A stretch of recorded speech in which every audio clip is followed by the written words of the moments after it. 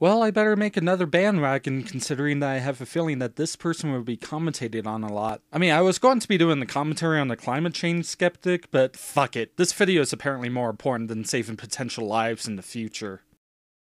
I need to do that sometime soon. Hello there, everyone, and welcome. My name is 8363MTR here to kick some ass because I got your back. For my next commentary, we're going to be doing the commentary on another 12 year old. Yay! Well, the account is called Skateboard Kid 2002, and he's another up and coming commentator, and a ranter, and some kind of random video maker. Also, Sean Sampson and Quote Commentaries have made a commentary on him, so I have a feeling that I'll forever become the commentator who always officially start a commentary bandwagon. Before I start, I have a few disclaimers. One, I might as well address the elephant in the room. My second commentary, aka the one on Jazz 416, I've said this about COPPA.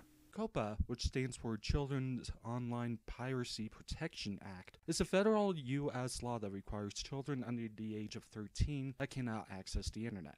Well, maybe they can, but they can't create an account on any social media site. If there are a bunch of children on the site, then the site would have to pay a fine. The only exception to this is when the parent has consent to have their child have an account, which in this case I highly doubt that you do. Well, I didn't do my research. COPPA is actually a law that requires the online sites to not collect anyone's information who are 12 years old or younger. There will be some sites that can collect the children's information, but that has to come with parental consent. And I'm not just talking about a child saying, Baby, can I play a crappy game And the mother approves of it by not giving the rat's ass, but by charging a very small amount to the parent's credit card, which is one of the most common method allowed by COPPA. The reason why I've said back there that was against the law, though it technically isn't, is because there are some sites that doesn't want to deal with having information on anyone 12 years old or below. So they just ban anyone who confesses that they are 12 years old. If they have a bunch of actual children on the site, however, then they will get a fine of 16,000 US dollars per violation. And some of the most notable offenders was Justin Bieber fan site with $1 million and Playdom Inc. with with the biggest fine of $3 million.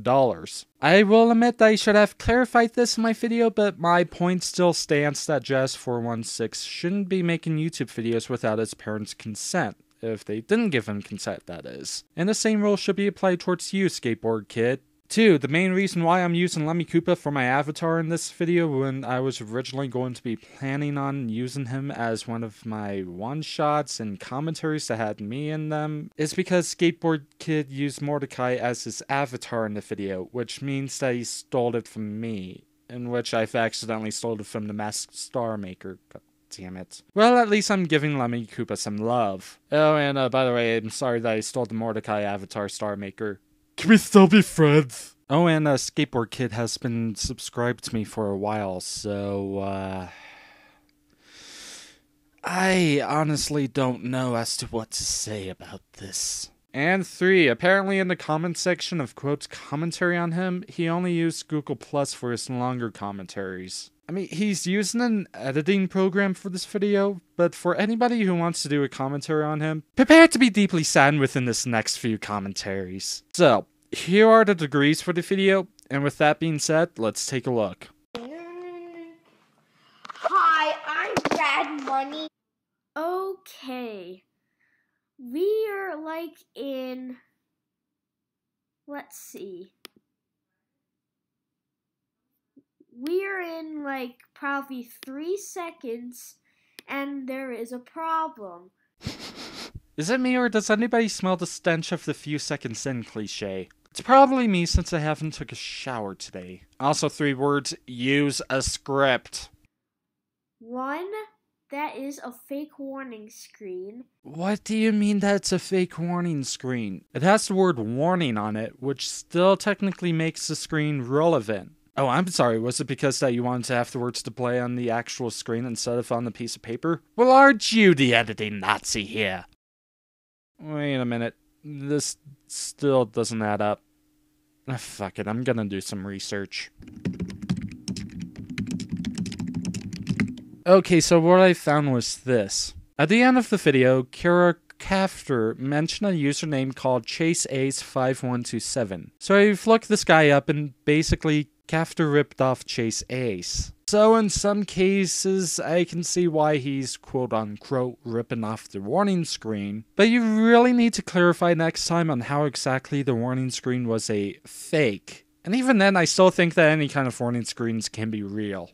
And two, Brad Money hasn't been relevant since a year. Okay, who is this Brad Money person? I have no idea as to who that guy is, and it would be great if you, the commentator, would at least provide me some kind of way to show us who Brad Money is. Like, I don't know, provide me the channel link down in the description box below. That way I can try to at least see if whether or not if what you're talking about is actually true. Oh, and before you say, well, didn't you at least try to search him up?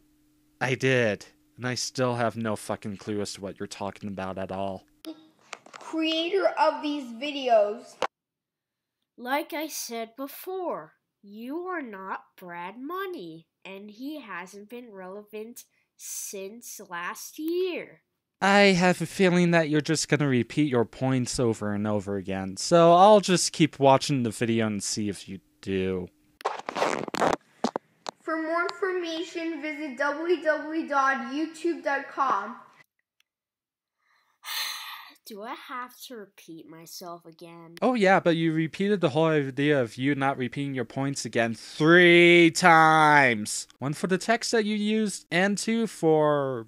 Um, I'm gonna be honest with you here and think that you're just lazy and wanted to make some copy pasta with that phrase during your editing phase of that video. Enjoy the show.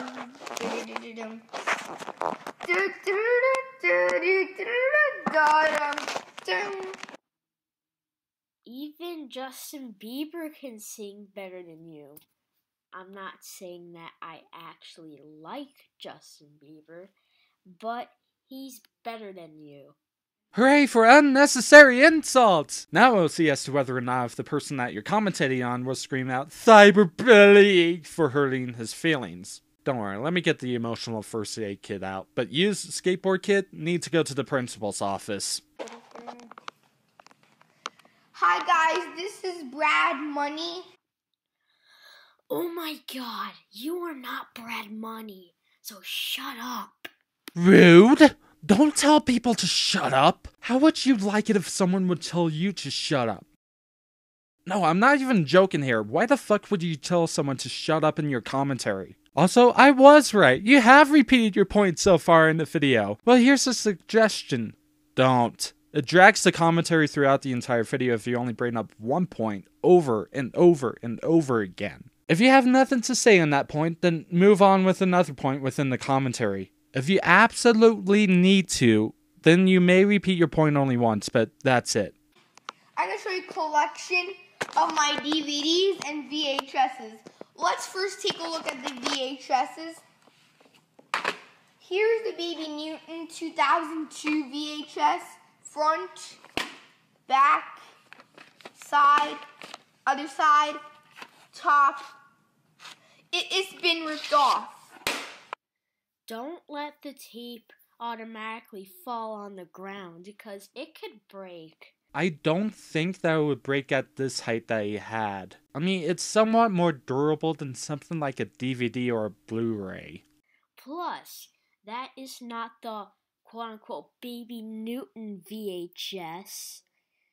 It's just a, I don't know, a PBS Nova documentary. Didn't you watch the video? It was obvious that the tape as well as the cover said Jesus! Here's the VHS. This is 2000, not 1998. H- hello? Are, are you there? Oh, um, okay. You've left. I'll just wait here in this corner, then. Maybe I'll have a wonderful conversation with this person who sits in the corner that we all know and love named Bob. I'm sorry, but what was the point of the joke? You never even tried to refute this point or even say a problem within the video in the first place. Was it you saying that you can't take it anymore or that you just wanted to quit the commentary? Well, the delivery of the joke sucked. Not only that, and it's not just you, but is it me or is the joking kind of predictable now? Also, I've noticed something throughout your commentary so far. Not once have you given the user that made the video any sort of constructive criticism. That's the whole point of commentaries. If anything, I feel like as if you made this video all because you wanted an excuse to be mean spirited. That's just smacks of insecurity on your part. Then again, you're 12. I'm not surprised that you're insecure. Here's the Baby Mozart 2000 VHS. By the way, I'm very sorry about the damage on the cover. Probably because you have terrible skills at scissors and shears. Well, do you have any way of him to improve at all? No? Okay, then I guess we'll never know on the whole situation on how to improve his artistic skills. And on the inside, sorry about these stains. Okay. Front, back, page, video guide, Baby Mozart. The entire Baby Mozart Concert Full Ears soundtrack. I ain't seen no soundtrack. Maybe you wrote the soundtrack on the other side of the cover page and you didn't read it. Or maybe you took the CD soundtrack out. Oh, what the fuck am I doing? Why the hell am I being so literal on this video? I do have the CD though. No, you don't, because all it is is you're faking all of those tapes and CDs. But but it's somewhere else, not in this one. Psst! Hey, I have a secret. He doesn't actually have the CD. Can you please stop assuming things like as if they're the real deal? Maybe it actually doesn't have the VHS. Sure, but what if he actually does have the CD, or used to have the CD, or can't show it for some odd reason?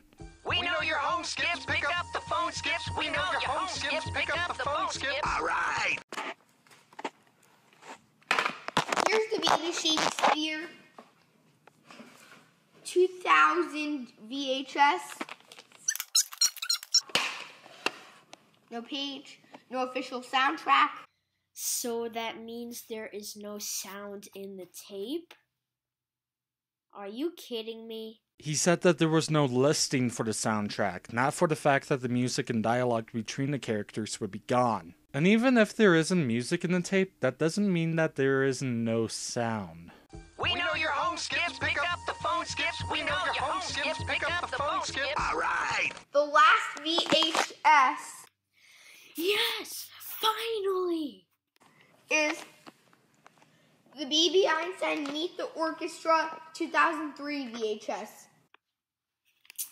When Meet the Orchestra came out, VHSs were discontinued that time.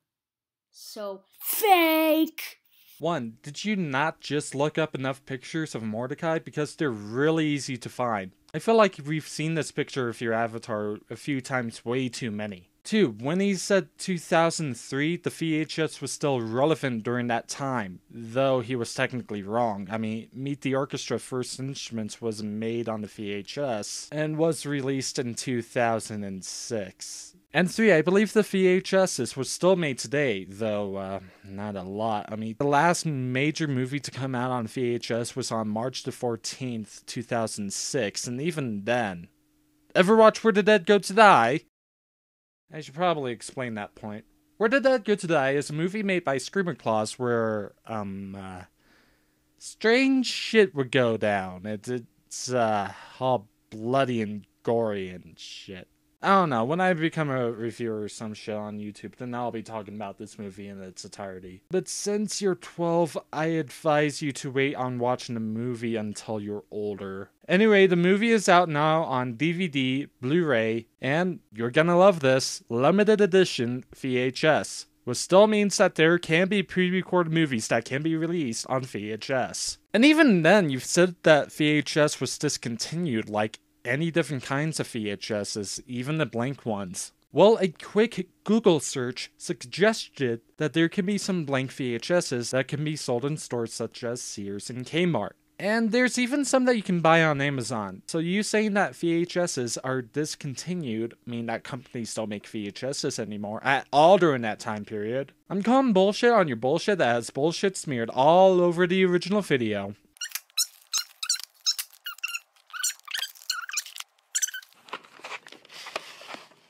And here's the tea. Well, I guess that's it. Hopefully, there will be a part two. Because I don't want to put too many audio files in my computer.